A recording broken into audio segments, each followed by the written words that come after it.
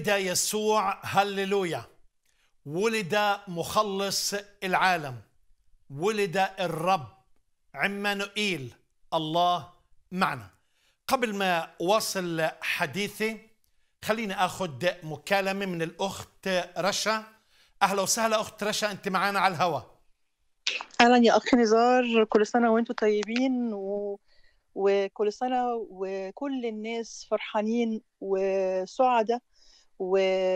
ومبتهجين بميلاد يسوع المسيح اللي أدى إلى إن إحنا نقدر إن إحنا ندخل إلى عرش النعمة مرة تانية وإن يكون لنا علاقة مع الله الآب مم.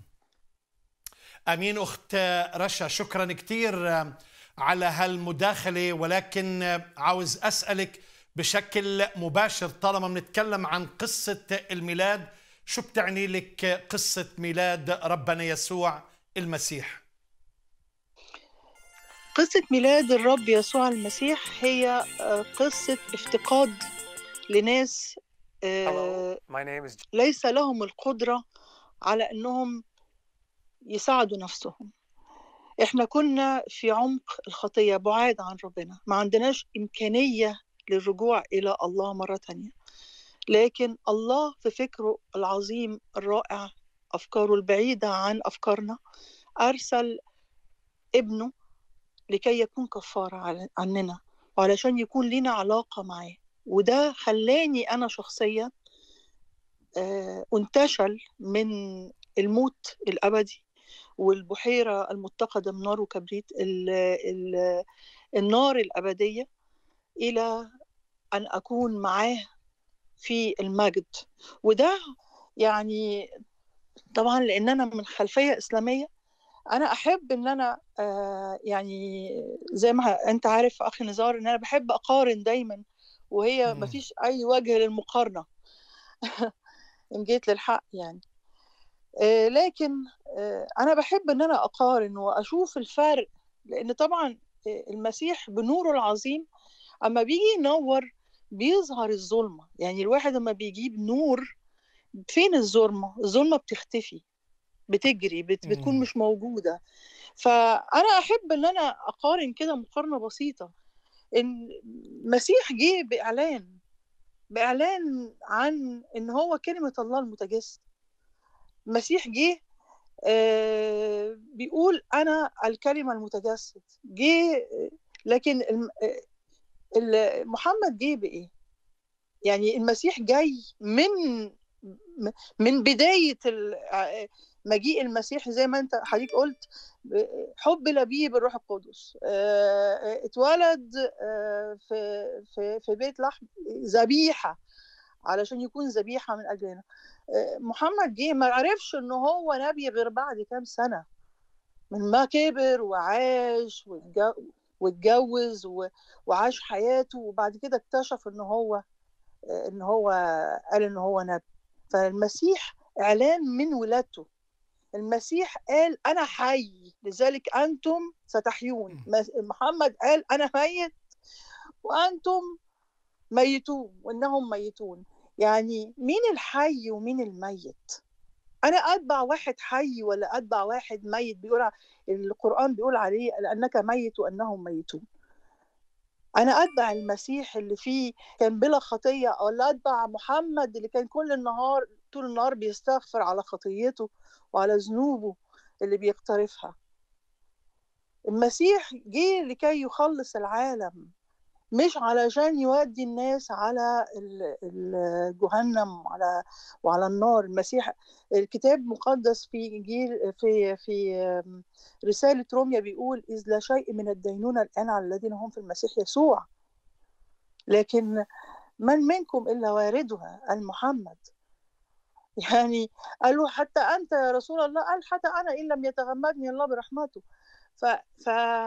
فتخيل تخيل الفرق العظيم ما بين المسيح اللي كان بيتكلم كلمات كلامه كان مباشر كلامه كان بيتكلم على التسامح كلامه كان آه، ما فيهوش كذب. لواحد تاني كان بيحلل الكذب في ثلاثة من واحد كان منع العنف ومنع استخدام السيف لواحد تاني كان بيحرض على حرض المؤمنين على القتال. المسيح شفى الأعمى محمد عبس وتولى إذ جاءه الأعمى. المسيح هو الطريق والحق والحياة. أنا عندي حياة حقيقية حقيقية من خلال عمل المسيح. أنا عارفة أنا هروح فين في النهاية. أنا عارفة إن أنا لو غمضت عينيا عن هذه الحياة هفتحها في السماء معاه. لكن مم. كل واحد مسلم بيقف بتسأله السؤال ده ما بيقدرش يجاوب. يقول لك لا أعرف لا أعلم.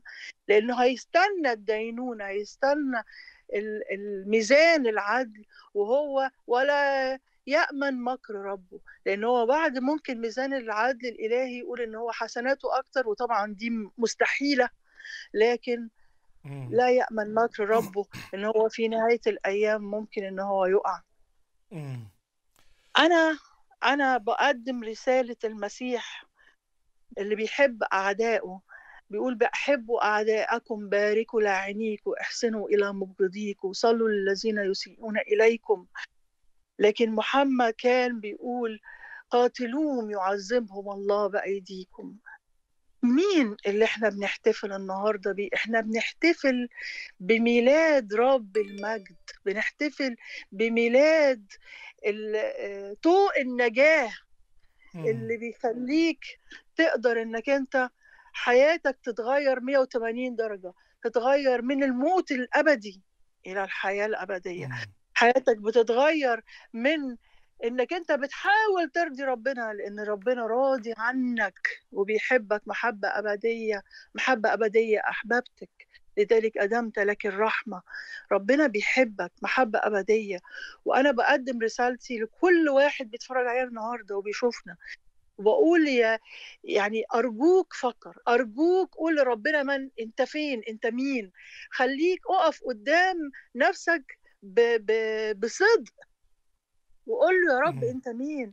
الإله اللي بيقدم لك الحياة الأبدية ولا الإله اللي بيقول لك روح فجر نفسك وموت علشان خاطري؟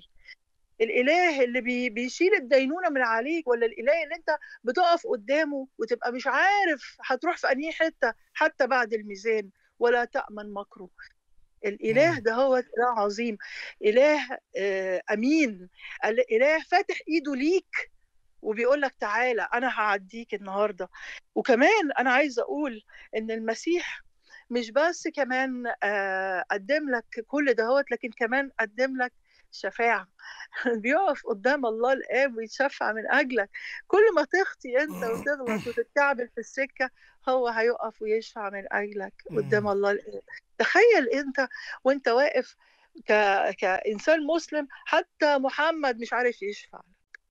مش قادر يشفع فيك لكن المسيح بيقدم للناس الخطاة ال ال آه، ايديه وبيقول لهم تعالوا إلي يا جميع المتعبين وثقيل الأحمال أنا اللي هريحكم أنا أريحكم. تعال النهارده.